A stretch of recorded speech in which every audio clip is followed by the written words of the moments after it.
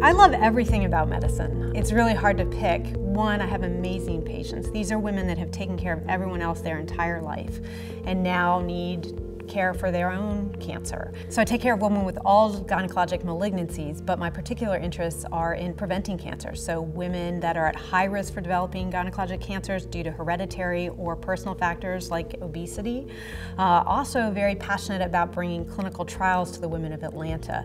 These are enabling us to bring cutting edge research, innovative therapies, um, and that women here can access them before they're available throughout the country. Also just training the next generation of physicians to take care of women both in OBGYN and gynecologic oncology.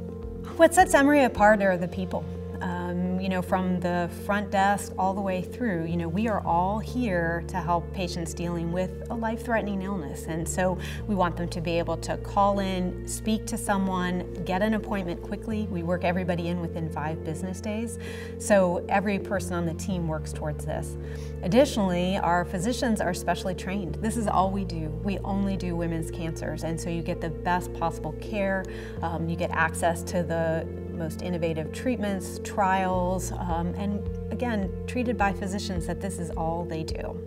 The most important thing to me is to really hear what the patient is saying and make sure that uh, she has a voice in her decisions, that she feels like she's getting the best care possible, and that she has every option explained to her. You know, this is my 18th millionth time talking about that cancer, but it's the first time she's hearing it.